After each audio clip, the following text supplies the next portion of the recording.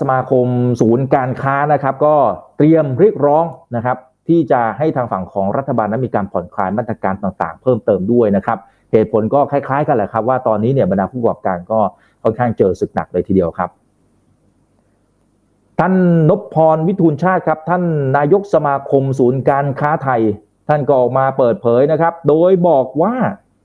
จากปัญหาความแออัด ในการให้บริการเมื่อสัปดาห์ที่ผ่านมาที่มีคุณลูกค้าต่อคิวใช้บริการธนาคารเป็นจำนวนมากนะครับ สมาคมศูนย์การค้าไทยก็มีความเป็นห่วงต่อสถานการณ์ดังกล่าว แล้วก็มีความมุ่งมั่นอยากจะลดความแออัดในการใช้บริการให้กับภาคประชาชน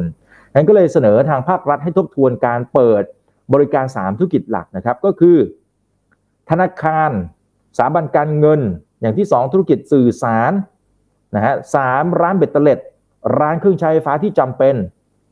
โดยได้กำหนดแผนแม่บทมาตรการของธนาคารและก็ธุรกิจสื่อสารสะอาดมั่นใจเข้มข้นยกระดับขั้นสูงสุด ให้เป็นบรรทัดฐานที่ดีในการดูแลความสะอาดปลอดภัยในการให้บริการ เพื่อเป็นการสร้างความมั่นใจลดความแออัดที่เกิดขึ้น ช่วยอำนวยความสะดวกให้กับภาคประชาชนที่มีความจำเป็นต้องออกมาทำธุรกรรมทางการเงิน หรือชำระค่าบริการโทรศัพท์มือถือ เพื่อเป็นการกระจายพื้นที่ให้บริการลดความแออัด แล้วก็ลดระยะเวลาในการทำธุรกรรม ซึ่งเชื่อมั่นนะครับประทุกภาคส่วนเนี่ยพร้อมใจร่วมการหาทางออกให้กับสถานการณ์ขณะนี้อย่างเต็มที่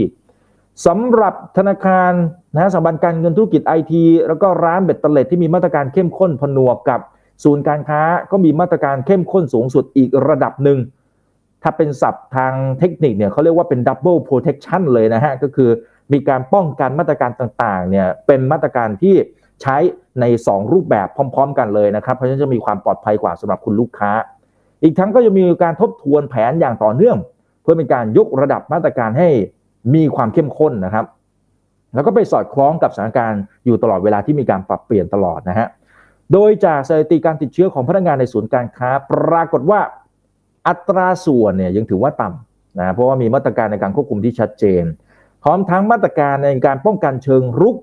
การบริหารจัดการอย่างมีประสิทธิภาพ การแยกกลุ่มเสี่ยงกักตัว 14 วันดูอาการเปลี่ยนพนักงานชุดใหม่ เพื่อเป็นการควบคุมความเสี่ยงตามขั้นตอนของกระทรวงสาธารณสุขอย่างเคร่งครัดนั่นเองนะครับทางนี้สมาคมก็ได้เริ่มจัดทำแผนแม่บทมาตรการธนาคาร และธุรกิจสื่อสารสะอาดมั่นใจ 26 ข้อปฏิบัติที่มีความเข้มข้นเป็นพิเศษ โดยมุ่งหวัง เพื่อที่จะอำนวยความสะดวก ลดความแออัด ลดระยะเวลาในการใช้บริการของประชาชน ซึ่งถามว่าทางภาครัฐผ่อนปรนให้เปิดให้บริการได้ในที่สุดนั่นเองนะครับ ขอบคุณทุกท่านที่ติดตามทินเอ็นช่อง 16 ครับ อย่าลืมกด subscribe แล้วก็กดกระดิ่งด้วยครับ เพราะว่าเรามีวิดีโอที่น่าสนใจอีกเพียบมาฝากทุกท่านกันครับ ส่วนท่านไหนที่ไม่อยากพลาดรายการแบบสดๆ ง่ายมากครับ เข้าไปที่ Facebook ที่มีชื่อว่า TNN Live หรือว่าช่องทางอื่นๆ ช่องทางไหนก็ได้ที่ท่านสะดวกนะครับ ง่ายมากครับ ไปกดลิงก์ที่ใต้วิดีโอนี้ครับ